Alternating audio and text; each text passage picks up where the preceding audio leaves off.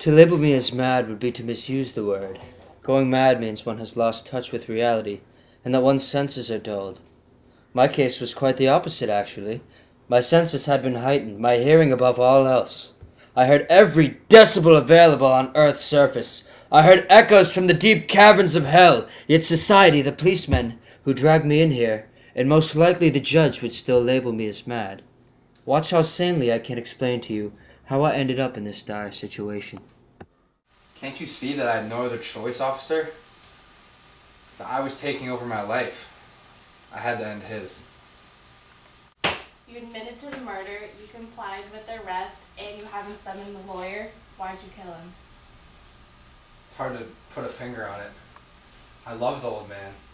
He fed me meals daily, took me into his home, even shared his wisdom with me. Must have been the eye, the dreaded eye. His eye, you're insane. You don't understand. It was horrible. drove me crazy. It was ruining my life.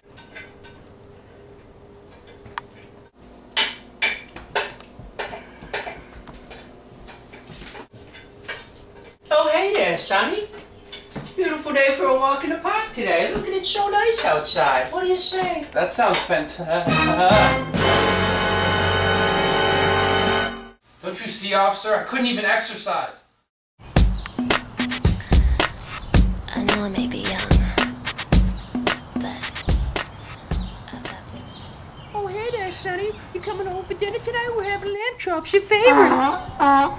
Uh huh.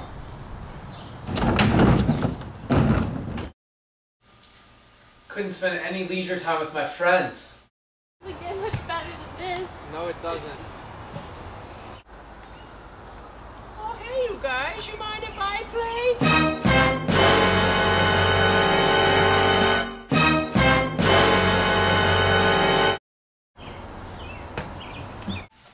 Can't you see, officer? That eye was taking over my life.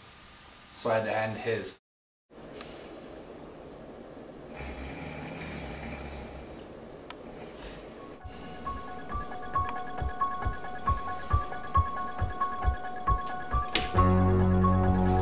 Oh, who's there? Oh, no! Oh, no! Oh, oh, oh!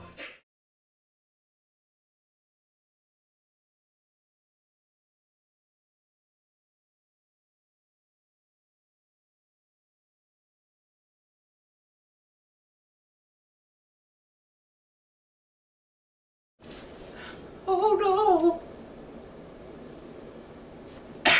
Is that it?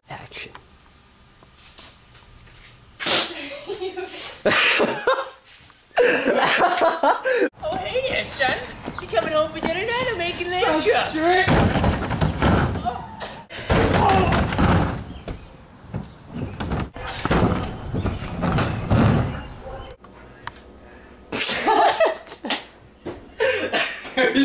Honestly. Oh, hey there. It's supposed to be a beautiful day in the park today. Fuck! Case closed.